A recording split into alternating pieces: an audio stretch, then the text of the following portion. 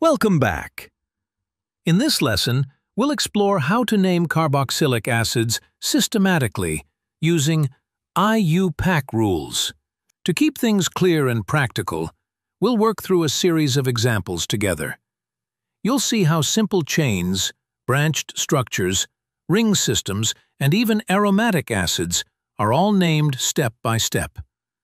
By the end of this video, you'll feel confident naming each of these carboxylic acids on your own.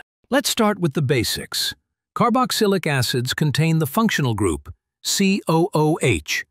It's made up of a carbon double bonded to oxygen and bonded to a hydroxyl group. This group is always the highest priority in naming, which means it dictates the suffix of the compound. Whatever else is in the molecule, the COOH decides the ending of the name. Now that we understand the basics, let's apply the rules with our first example. To name it, we start by identifying the longest chain that includes the carboxyl carbon. This chain has four carbons, which corresponds to butane.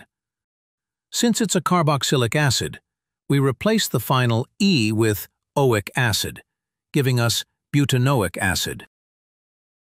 So that was a simple straight chain. Now, what happens when the chain has a branch? Let's take this example. The longest chain containing the carboxyl group has four carbons, so the parent is butane. On carbon 2, we see a methyl group. Replacing the E with oic acid and adding the substituent, the name becomes 2-methylbutanoic acid. So far, We've seen a straight chain and a single branch. Now, let's try a molecule with more than one substituent. Take this example. The molecule has a carboxyl group, which is carbon number 1 by default. Counting along the longest chain, we have five carbons in total, so the parent name is pentane. Replacing the E with oic acid, it becomes pentanoic acid. Now, let's look at the branches. On carbon 3, we see a methyl group. On carbon 2, there's an ethyl group. When naming, we always put substituents in alphabetical order, so ethyl comes before methyl. Putting it all together, the correct name is 2-ethyl-3-methylpentanoic acid. So far, we've been working with condensed formulas and simpler acids. Now, Let's level up with a skeletal formula that looks more complex at first sight. Here's the structure. As always, the carbon of the carboxyl group is carbon number 1. From there, we look for the longest continuous chain that includes this carbon. Tracing carefully, we find seven carbons, so the parent name is heptane. Changing the ending, it becomes heptanoic acid. Now, Let's examine the branches. On carbon 2, there's a propyl group. On carbon 3, we see an ethyl group. On carbon 5, there's a methyl group. Next, we put them in alphabetical order, ethyl, methyl, then propyl. Putting it all together, the correct name is 3-ethyl-5-methyl-2-propyl heptanoic acid.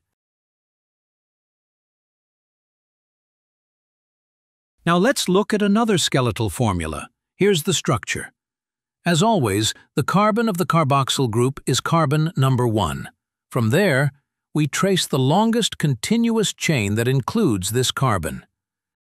Counting carefully, we find six carbons, so the parent name is hexane. Changing the ending, it becomes hexanoic acid. Now let's examine the branches. On carbon 3, there's a propyl group. On carbon 5, we see a chlorine atom attached, which gives us a chloro substituent. Next, we put them in alphabetical order. Chloro comes before propyl. Putting it all together, the correct name is 5-chloro-3-propylhexanoic acid.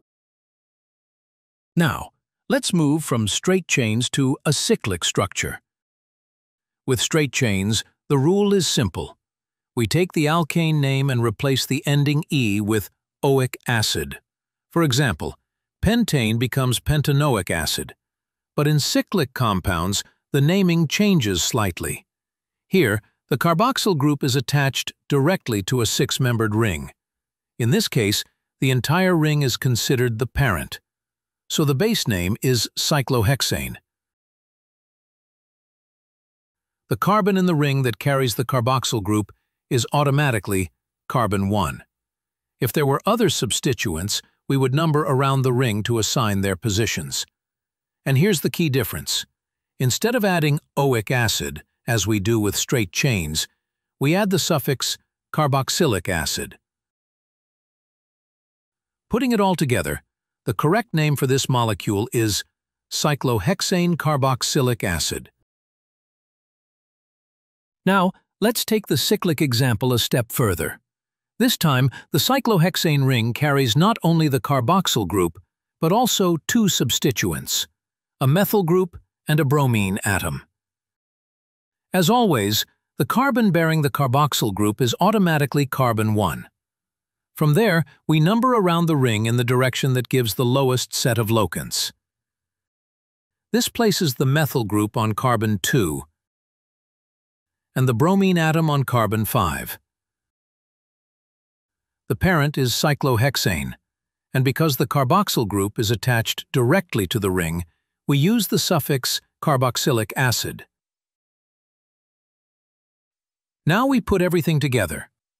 Substituents are listed in alphabetical order, so bromo comes before methyl. The correct name for this molecule is 5-bromo-2-methyl cyclohexane carboxylic acid. Finally, let's look at an aromatic example. Here, instead of a straight chain or a simple ring, the carboxyl group is directly attached to a benzene ring. When this happens, the parent name is no longer based on benzene with a suffix. Instead, this compound has its own special name, benzoic acid. The carbon of the ring that carries the carboxyl group is treated as carbon 1. If the ring has substituents, we number around it to give them the lowest possible positions, and then list them in alphabetical order, just as we've done before. But in this simple case, there are no other substituents so the correct name here is simply benzoic acid. For more practice and a stronger foundation, you can always check out our previous videos on IUPAC nomenclature. They'll give you a solid base to connect with what we learned today. And if you have any questions, feel free to drop them in the comments. I'll be happy to help.